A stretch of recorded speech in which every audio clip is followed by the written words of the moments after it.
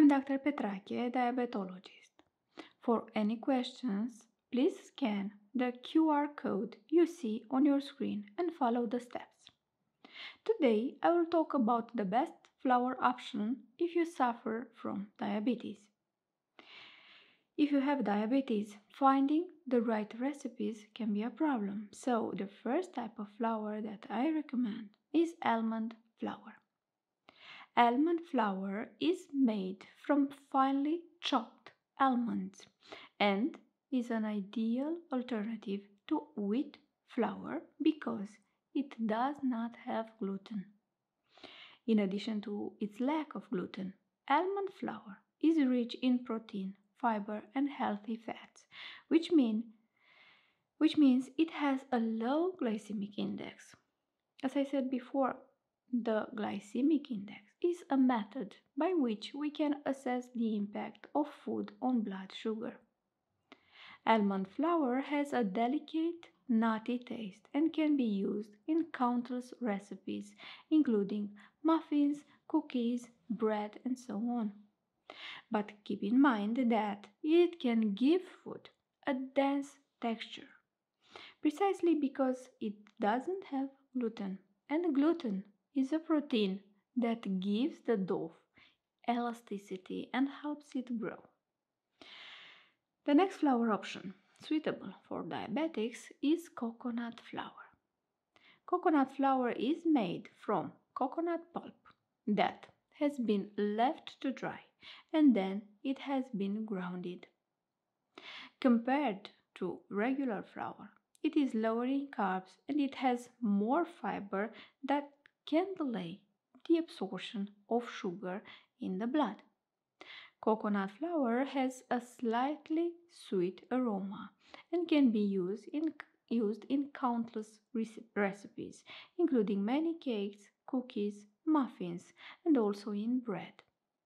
But you have to adjust the amount of coconut flour correctly.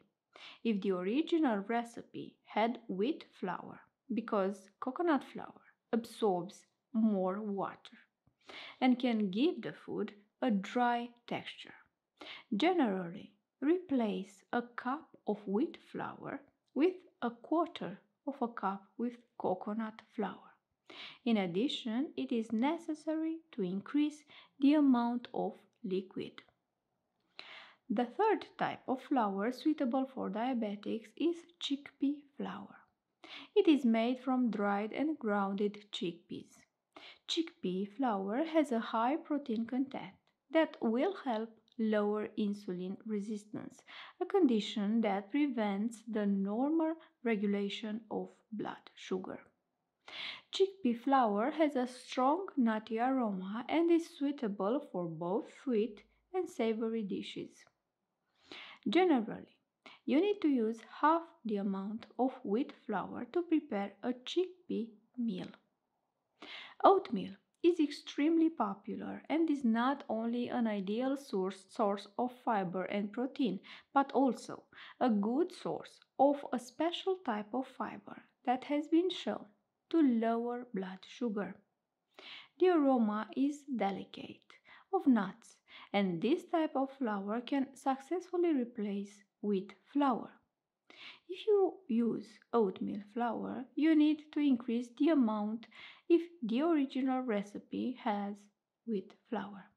Generally, for a cup of wheat flour, you need to add a cup and three quarters of oat flour. Spelt flour is another good idea if you suffer from diabetes. Spelt is an ancient cereal closely related to wheat. It is high in fiber and it can help stabilize your blood sugar after meals.